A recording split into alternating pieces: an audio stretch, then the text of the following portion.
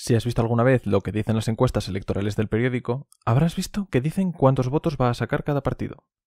Y seguramente a ti nadie te haya preguntado. Si hay tanta gente a la que no preguntan, ¿cómo saben cuánta gente va a votar a cada partido? No quiero insultar tu inteligencia, pero obviamente no lo saben. Lo que dicen es un número aproximado, es decir, una estimación.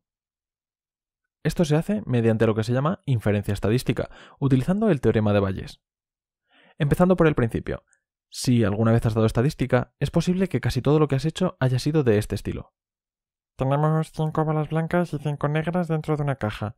Si sacamos una bola, ¿qué probabilidad hay de que sea blanca? Esto es lo que llamamos la ley de Laplace. Bueno, esta ley está bien para analizar qué puede salir de un sistema en el que ya sabemos que hay. Volviendo a nuestros votantes, lo que nos permitiría esta ley sería lo siguiente sabiendo cuántos votantes reales hay de cada partido, cuál es la probabilidad de que una persona escogida al azar vote a un partido concreto. Esto está muy bien, pero lo que de verdad queremos hacer es precisamente darle la vuelta al asunto, hacer la operación contraria. Por ejemplo, si tenemos una caja con 10 bolas y sacamos 4 bolas así, ¿cuál es la composición de lo que hay dentro de la caja? Esto es lo que llamamos un análisis inductivo. De una serie de casos obtenemos una ley general. Y este tipo de razonamientos en realidad las hacemos todos los días sin darnos cuenta. Por ejemplo, si ves un bus y el número de línea es el 133, seguramente pienses que hay más líneas que si el número que ves es 46. Y no te faltaría razón. Volviendo a la caja, si hemos sacado estas cuatro bolas, podríamos pensar que es mucho más probable que la caja sea así a que sea así. Thomas Valles lo que hizo fue poner el cuánto, cuánto de probable es que sea esta caja y no esta otra. Estrictamente hablando, con la fórmula de Bayes todavía quedaba camino por hacer antes de llegar a la inferencia estadística de hoy en día. Ahora la podemos dividir básicamente en dos, las estimaciones y los contrastes de hipótesis.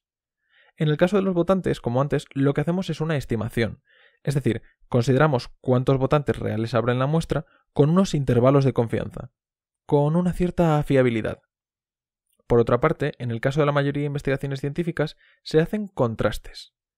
En un contraste, básicamente se pone a prueba una hipótesis y se calcula la probabilidad de que sea acertada.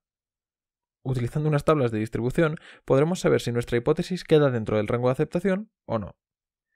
Explico esto un poco. Para saber qué son las tablas de distribución, primero hay que saber qué es una distribución.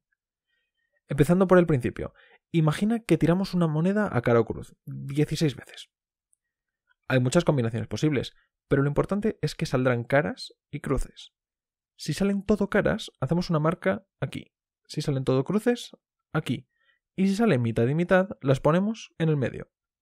Si repetimos el experimento miles y miles de veces, veremos que casi siempre ponemos la marca aquí, o muy cerca. Esto es lo que llamamos una distribución normal. Lo mejor es que casi todo, en números suficientemente grandes, tiende a una distribución normal el peso de la gente, la altura, el grosor de los árboles en un bosque. Si el área entera que queda bajo esta curva es 1, podemos decir que es la probabilidad de que algo ocurra. Por ejemplo, supongamos que esto fuera el peso. Pues si aquí están 110 kilos, este área será la probabilidad de que pese 110 kilos o menos. Este área no te pienses que la calculamos cada vez, tenemos unas magníficas tablas para hacerlo. Aunque así contado todo, parece que esto sea algo exacto, en realidad no lo es. Uno de los problemas principales en los que se tiene que enfrentar la inferencia es el de conseguir una muestra significativa, que represente de verdad el conjunto de lo que se quiere estudiar. Si tenemos una caja así y sacamos las bolas de esta zona, nuestras conclusiones van a ser incorrectas, lo mismo que en las encuestas, que tienen que hacerse en muchos sitios distintos, con características diferentes y más o menos a la vez, para que de verdad podamos extraer información útil. En definitiva, volviendo al principio del todo, las encuestas no saben cuántos votantes habrá, pero es que sencillamente no se puede. Lo que sí podemos es hacernos una idea bastante precisa. Si te ha gustado y quieres más vídeos de ciencia, comparte y suscríbete al canal. Y por supuesto, Gracias por verme.